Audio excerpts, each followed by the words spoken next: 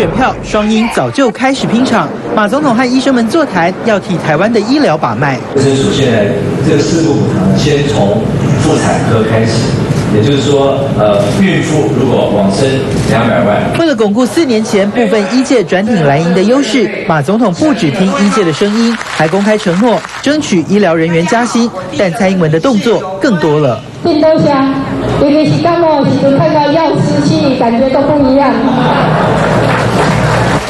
蔡阵营北中南接续举办一届后援会大造势，除了重量级的一届大佬归队，更有名声响亮的一届人士现身力挺。我我我投小英一票哦，快快乐乐去投，我我不用像他们要含泪含血含泪去投，不用啊。蔡英文靠着丰沛人脉动员，稳住绿底的一届盘势。毕竟四年前顶马的一届大佬，这次台面上几乎没动静。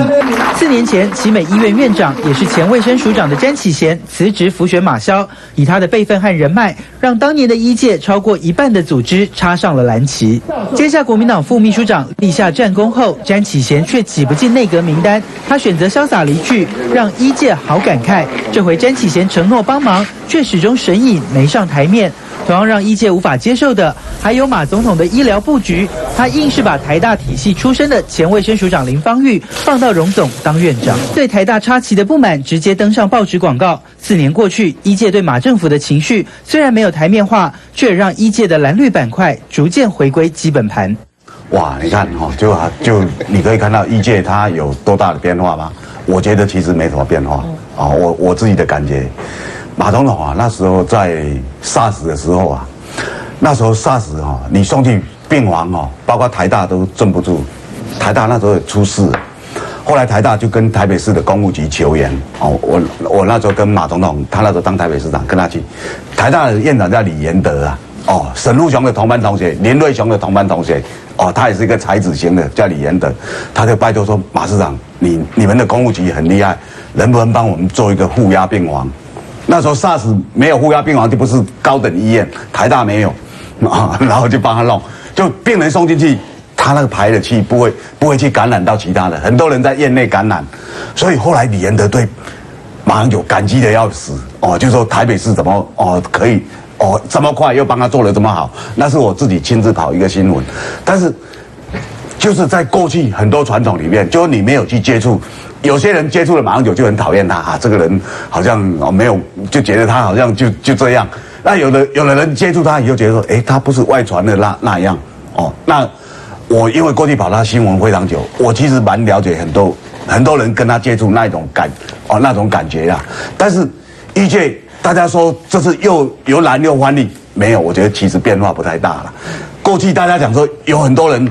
哦，马九上次参参选就很多利了就变难，我也不太相信。哎，没有很多，因为从来大概就是这样，你知道吗？我想是这样，虽然我不是一届出身，但是台湾的民主，其实一届人士是扮演了非常重要的角色。我们从很早跑新闻那个，前之前你看那个呃的的一届都是潜水艇式的，台大医院啊什么那些。那到了新马一百条的时候，你也参与过新马一百一百条的时候，一届联盟那个时候的呃，我李正元先生是蓝绿都佩服的，对不对？所以基本上我觉得一届人士他们在某种程度之下，由于他们是呃医生，所以是非正义，我宁可相信他们是分得非常清楚的。就是说，在理性的判断上面，跟感性的支援上，他们是有。百分比的那柯文哲先生，其实他是他是一个值得敬佩的人，他他家境非常好。我一直看他一篇文章，说他家境从小好到比比跟蔡英文一样。他说：“我如果说我要做和尚哦，我爸爸就会给我盖一座庙。”他的意思就是说我从小家里太有钱了，都没有自己的呼吸空间。你看这个人，那个又又又有这个急诊室的那么高的权威，又可以写散文。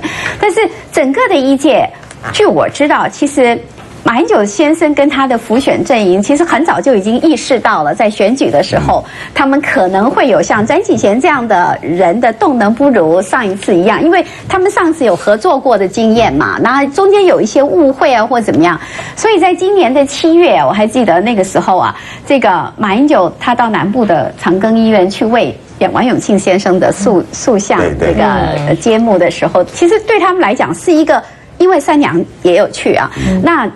那一天就是开始，那天对他们来讲是很振奋。我举这个例子，意思就是说，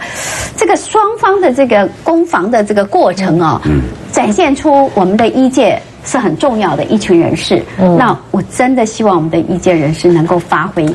医生在我们大家心目当中的这个呃印象，跟我们所希望的形象是是有是非公义的。是，但是我想问一个问题，就是说我们好像都会看一些指标性的人物，刚刚在绿营啦，就是柯文哲医师，然后他出来说啊，他不是他是快乐的投给小英，不是什么含血含泪等等。那我们就要回头来问了，如果刚才的我们的记者提到，就是像是呃林芳玉院长从台大这个系统到荣总，真的会如此的洞见观瞻，影响到整个盘面的局势吗？虽然董哥说不会，然后周姐说不会，那到底一个观察又是什么？哎，我我我看这个呃，刚刚我们的这个新闻说，詹启贤后来没办法进内阁，嗯，因为当卫生长，其实那时候本来媒体有讲要做副院长，啊，那为什么进不去？嗯，好，詹詹启贤是哪里不够格干干个副院长？为什么进不去？当然跟马马英九旁边的人有关了哈。所以我要讲说，林瑞雄跟苏家全，其实看到詹启贤哦，应该觉得圈圈跟叉叉了。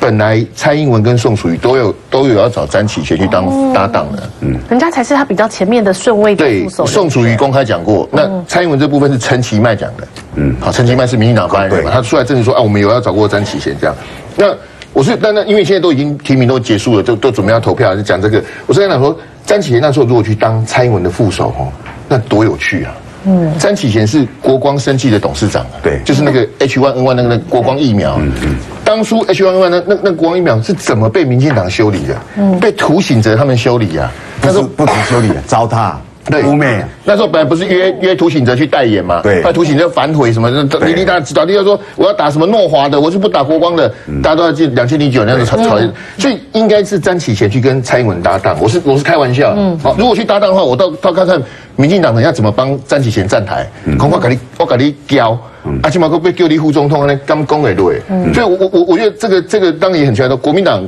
民进党跟亲民党都有跟詹启贤有有这个渊源呐、但是如果我们回到选举的现实面，我也干嘛讲第一届啦哈，我我我不认为说一届的人，因为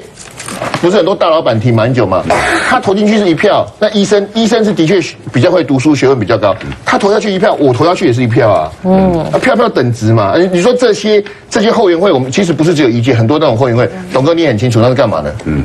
对啊，那是要募款的啦，募款嗯，募款参那一多哇这啊，你你领几多，你领几多，要做做迄场面尔啦。其实你说那些动员的效果哦，我觉得形式意义大于实质意义啊。对啊，但是因为哦，常常有指标性的人物啊，啊，就说他指标性人物出来，他可能会感染下面的一些人，哦，比如说哦，台湾最大的民营公司是台塑嘛，哦啊，台塑的那个就出来讲，哦，王岩就出来讲，我们当然支持挺九二公司的人啊，哦，他就公开讲啊，那他当然。哦，要挺马英九的意思就很明显哦，他对他的所有员工讲，媒体都做这样解读，但是员工会不会都听老板的啊？这个年代不一样了。很多人说阿兵哥让他放假，哇，他回去就投投执政党，怎么可能？现在阿兵哥他去当兵，他你辅导长叫他投谁他就投谁，哪有这回事？你也太看不起这个人了。就说哪个公司，然后老板叫员工去投谁就投谁，没有那回事。我觉得反而是反效果。我我我我插插插一句，不好意思啊，前前天媒体报道说，民进党他们在这等那个最后一两个礼拜，好像推神秘嘉宾，有两个，两个都姓李啊，你对，一个是李登辉，一个是李彦哲哈，一定要出来。他们还神秘吗？不不，就说来的话票会比较多，他们是这么认为哈。那我就拜托说一定要出来，好，不管刮风下雨什么的，李远哲跟李登辉一定要出来。李远哲跟李登辉一上蔡英文的台哈，啊，马英九的票就变多了。我跟你讲实在话，我我我认为他们那两个还以为自己有票，那就赶快站出来啊。好，因为向上提升还是向下沉沦，他定呢？对啊，呃对啊，李登辉出来是会有票了啊，因为钓鱼台是日本的嘛，哦大家就就记得嘛。然后啊那李远哲就哦，看看他要向上提升，还是要向下沉沦嘛，对不对？还是要讲他哦，上个礼拜被我们节目讲的，说自己要退休了，然后在中研院修改法规，哦，修改法规说中研院以后可以让人家特聘研究员，年满七十岁以后还可以继续。然后这个人的条件就要得过诺贝尔奖，全台湾只有一个人，就叫李彦哲，可以领最高五十万，嗯，啊，比总统还多，就大家来谈这个也没问题啊。但是我们看很多人物在选举里面，你就会被拿出来检视，所以詹启贤可能不愿意解释，虽然他没有龙色 哦，他不愿意嘛。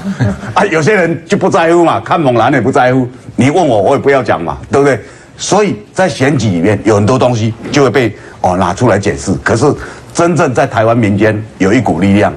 他们不是要解释，他们来拔输赢啦。哦，这个就是赌盘。这林瑞图最有兴趣。等一下我们请他来说明，马上回来。